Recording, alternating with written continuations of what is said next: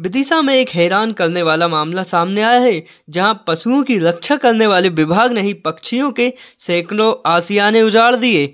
वहीं कई दर्जनों पक्षियों की मौत भी हो गई। दरअसल, विदिशा के पशु चिकित्सालय विभाग का यह मामला है, जहाँ पर लगे पेड़ों पर बुगलों के दर्जनों आसियाने थे। वहीं पास में ही विभाग के होने के कारण विभाग के अधिकारियों को बदबू आती थी। बदबू से परेशान होकर विभाग के अधिकारियों ने बुगलों के आसियाने मिटाने के लिए पेड़ कटवा दिए।